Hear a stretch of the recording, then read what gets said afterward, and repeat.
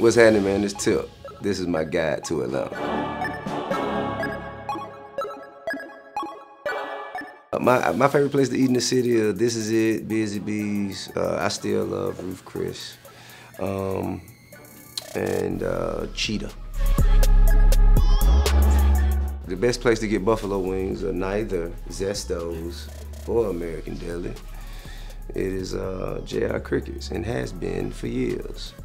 Everybody from Atlanta knows this. Whew, best nightclub in Atlanta.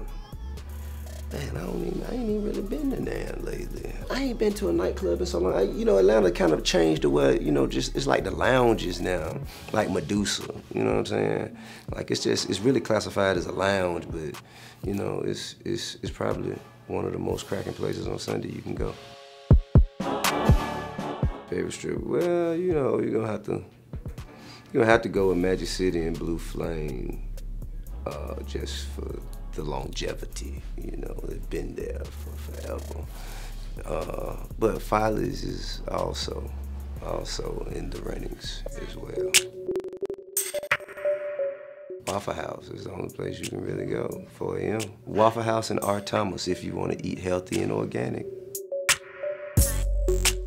I would say the best place to take kids from 3 to 12 would probably be Slingshot, Main Event, um, Andretti's, you know, places like that.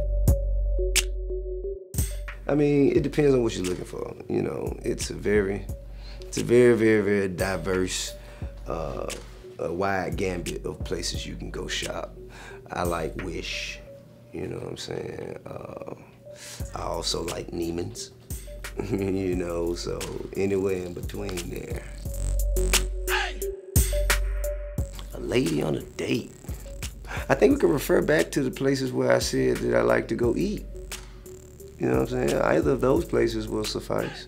Or one of the favorite strip clubs. You can go either of the, anywhere on that list will suffice is the best place to take a lady on a date. Depends on the, I mean, it depends.